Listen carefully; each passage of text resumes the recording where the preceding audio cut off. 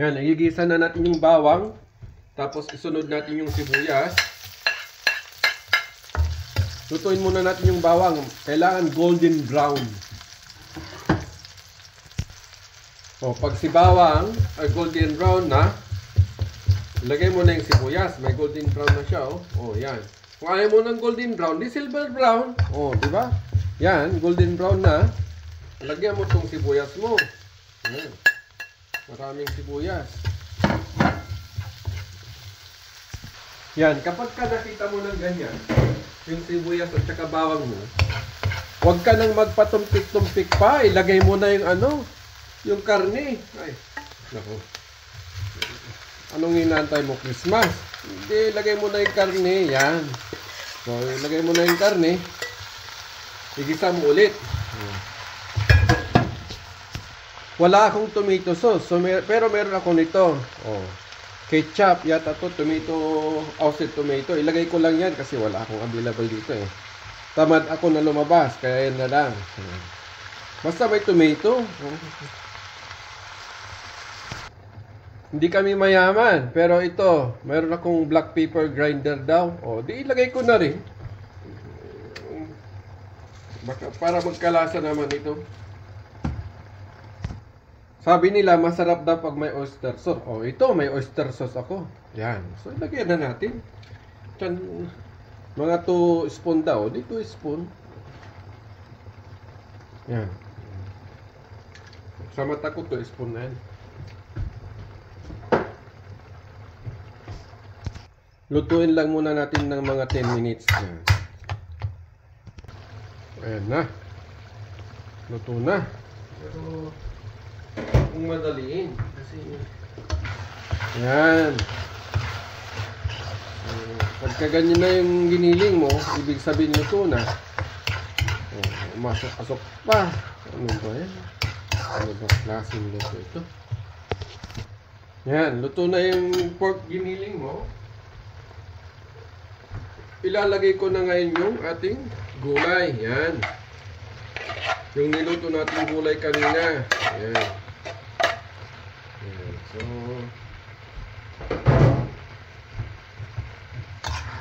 ayan na po. Yan. Yung ating pork, siniling. Oh, yan. Mga patsamba ni Orokto. So, yan. Tsamba-tsamba lang. Kung marunong kang nito, eh mag-like ka na.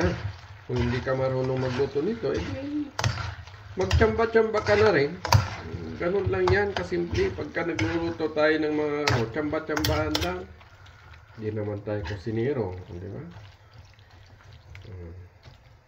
Tuyo siya, pero kailangan mo lagyan ng dagdagan ng tubig konti. Kunti lang. Since naglagay ka ng tubig, maglagay ka na rin ng dagdagan mo ng oyster sauce o kaya toyo so toyo na lang para may asin kasi hindi ako naglagay ng asin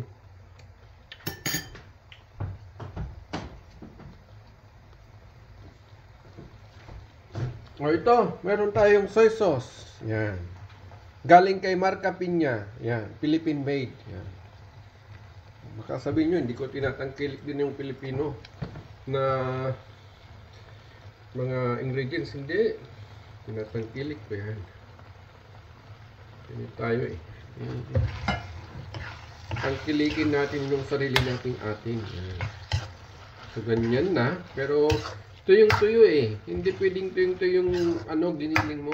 Kasi, sisip-sipin pa niya yung ano, yung mga ano, mga sangkap.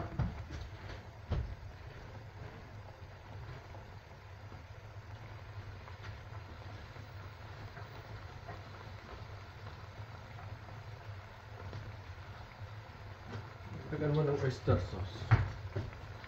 Yan. Yan. Tapos dagdagan mo ng tubig. Tapos ito. Ano ito? Nagdagan ko ng konting tubig. Pwede na yan.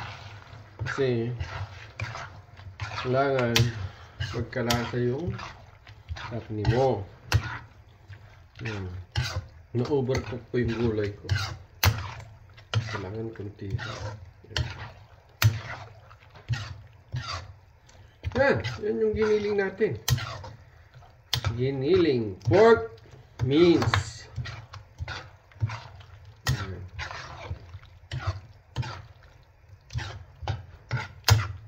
Pork mince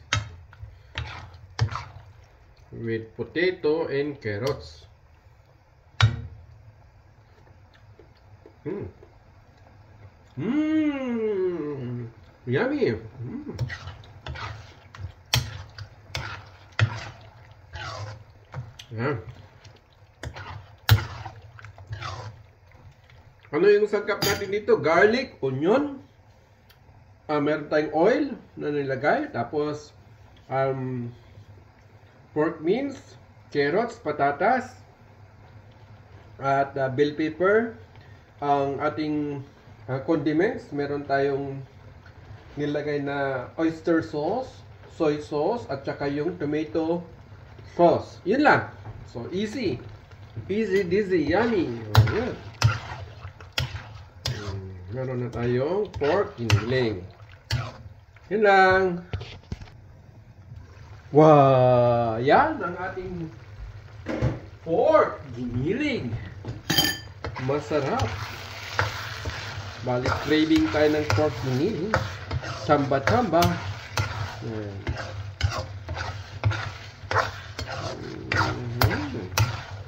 Yan ang pork giniling po natin. Wala akong masyadong nilalagay ng mga ingredients. Kung anong nandyan lang sa ref, yun lang. So may pork mince ako, meron akong pork na belly, nilagay ko yan, garlic onion, bell pepper, potato, carrots, yung condiments ko, kunti lang, oyster sauce, soy sauce, at saka tomato sauce. Meron akong nilagay ng konting bitchin. Hindi ako naglagay ng asin. Nilagay ko yung soy sauce, mas marami. Tapos, um, uh, pepper, yung grind pepper, yung black pepper. Yun lang. So, maraming salamat sa inyo, sa inyong panonood. And thank you for watching for my oroktoso recipe. Pork mince a la Australia. Eh. See? Oh. Sarap. Nagmamantika-mantika pa yung ano niya, oh. Oh. Mm. Sarap niyan. Ito na po yung ating pork mince. Yan. Oh, di? Ang sarap. Wow! Mm, delicious.